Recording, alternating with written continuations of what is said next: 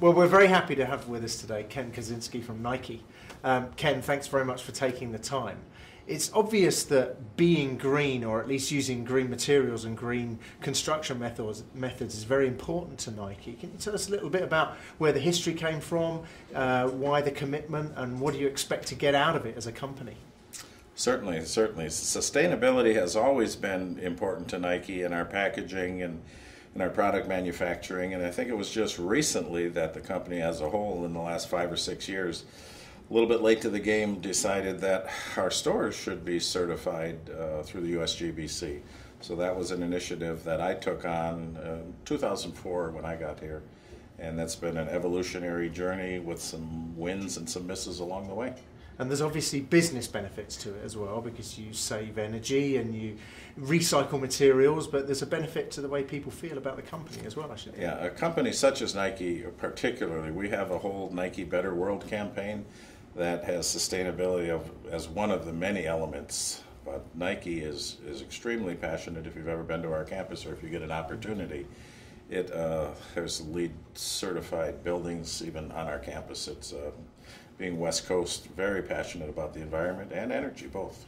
How do you, you obviously have to change the way that you think about how you're building these stores, but you probably also have to change the way that you think about the partners that you work with as well. Absolutely, you do. Absolutely. We're very fortunate that one of the companies that helped the USGBC write their policy is called Green Building Services. Mm-hmm. It's about 50 people in the company, real passionate. They're based out of Portland, Oregon. They helped the USGBC write policy for uh, retail and how those stores should be certified. So we knew we had to take on a partner such as that. So we have that consultant on each and every project. That was uh, one real early learnings. And then secondly, I took a team of about 25 people and pushed them through the credentialing, myself included at the, at the beginning of that process. Uh, realized that everyone needed to become accredited through the USGBC, so there was a lot of studying and, and some pretty serious tests. This was after the testing got mm-hmm. a little bit more robust. Do you find it changes the way that your partners operate? I suppose as they become more and more, shall we say, into it and realise what the benefits are both to the business and also to the customers. Sure, there was a obstacle to overcome in the beginning. Uh, most companies, the bean counters end up percolating to the top. Right?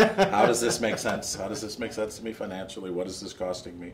So we put together some really good analytics around what it costs, what are the hard costs up front, um, that's going to be in our presentation, but we followed that up with the true energy savings being on the lighting side 40 to 45% below ASHRAE 90.1. Wow.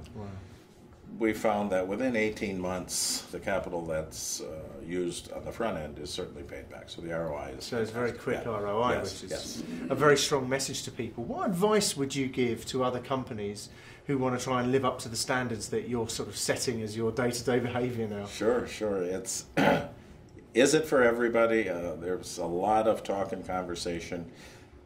There's not necessarily a, a, competitor, if you will, to the USGBC. So there's big uh, further conversations around that. But if somebody does want to follow the path that, that we do, it's just important that you use companies that have the experience because the administrative work and your processes everything from the architects to the contractors to uh, the consultants. You know, I made sure it was my business that I found people that have already done it. So that's really, I think, the most important component is choose partners that have uh, a portfolio of LEED certified projects. Hmm. I guess one of the other things is that when you look at other areas, other product types in in uh, in context of being more sustainable, being more green, one of the things that you discover about consumers is that they don't actually really want to sacrifice any of the things that they would normally expect. So people, I assume, still expect the same great experience from Nike, but effectively you're giving them a benefit, aren't you? Absolutely, we are. One of the things we're real proud of, and we've had this program around, I forget exactly how long, but I, I think we are over 25 million pairs of shoes that are recycled. So we have the reuse a shoe program where your old sneakers, and doesn't matter which brand they are, they get collected at the stores and sent back to the plants and turned into basketball courts and gym floors. And even part of uh, the regrind uh, flooring surface in our fitting rooms is old gym shoes that are uh, chopped up with tires, and you know, the product has a full continuing life cycle. So this isn't just something that affects the way you build a store. It really is the way that the company thinks about itself, almost from end to end, from manufacturing to recycling. Absolutely. That is 100% correct. Thank you very much, Ken. Really enjoyed Sure. talking to you. Thank you. Cheers.